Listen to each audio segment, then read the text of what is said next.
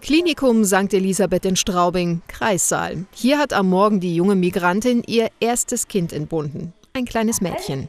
Um eine Nachsorgehebamme hat sich die Rumänin bereits in der Schwangerschaft gekümmert.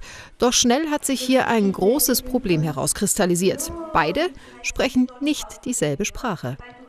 Die Gesundheitsregion Plus hat äh, sich zur Aufgabe gemacht, im präventiven, aber also im vorbeugenden medizinischen Bereich tätig zu werden. Und ein wesentlicher Aspekt ist hier die Migrationsmedizin, das heißt also die Behandlung von Patientinnen und Patienten mit Migrationshintergrund, da wir gesehen haben, dass es hierbei oft Kommunikationsschwierigkeiten gibt, also sprachliche Barrieren. Kein Einzelfall, denn mittlerweile jede zehnte Frau, die hier im Straubinger Klinikum entbindet, versteht kaum oder nur sehr schlecht Deutsch. Wie erklären Hebammen ihren Patientinnen nun, wie sie ihr Baby wickeln oder pflegen oder wie sie stillen oder Fläschchen geben sollten? Eine Herausforderung, der sich mit ihrer Idee nun ausgerechnet eine Straubinger Hebamme angenommen hat. Wir haben das Ganze gestaltet in Abreißblöcke, dass jede Hebamme das in ihre Tasche tun kann, mit Deckblatt und Rückseite und äh, den Piktogrammen selber. Die Piktogramme wurden unterteilt in Grün und Rot. Grün ist immer gut, Grün ist immer positiv, Rot ist natürlich das Schlechte, das Nicht-Gute.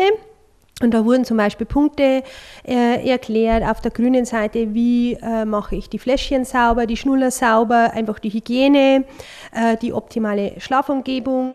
Knapp ein Jahr hat es gedauert, die ursprüngliche Idee von Karin Mittermeier-Rupert und ihren Kolleginnen im wahrsten Sinne des Wortes zu Papier zu bringen. Mit einfach verständlichen Piktogrammen können nun den Migrantinnen die zehn wichtigsten Punkte der Wochenbettbetreuung erklärt werden. Gesponsert wird das deutschlandweit einzigartige Pilotprojekt von einem namhaften Babynahrungshersteller. Das Design kommt von Artworks, die auch für die nun geplante digitale Verbreitung und Homepage zuständig sind. Es wird in der nahen Zukunft dann auch die Piktogramme digital geben. Das heißt, die werden auf verschiedenen Webseiten, vor allem auch von der Webseite der Hebammen in Straubing, dann auch digital online zu finden sein. Das Ganze natürlich auch für Handy noch optimiert, damit dann auch die Hebammen im täglichen Nachsorgeprogramm das auch dann zusätzlich noch zu der gedruckten Variante auch am Handy mal noch mit abrufen können oder sich die jungen Mütter hier selber auf dem Handy auch nochmal mit anschauen können, falls mal der Zettel irgendwo gerade nicht griffbereit ist. Straubings Oberbürgermeister Markus Pannermeier ist begeistert von der sehr praktischen Lösung, die bald bundesweit verfügbar sein soll.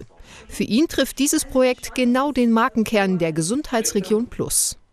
Wir haben als Partner die Firma Milupa, die das auch unterstützt hat und angeboten hat, in ihrem Netzwerk das auch bundesweit weiterzutragen. Und das begrüßen wir natürlich sehr. Wir wollen ja hier nicht eine Copyright-Lösung äh, für Straubing entwickeln. Wenn die Lösung so gut ist, dass auch andere sie haben wollen, dann ist das ein wunderbares Kompliment. In wenigen Wochen schon soll die Homepage freigeschaltet werden. Dann steht einer deutschlandweiten, ja vielleicht sogar weltweiten Verbreitung und Anwendung nichts mehr im Wege.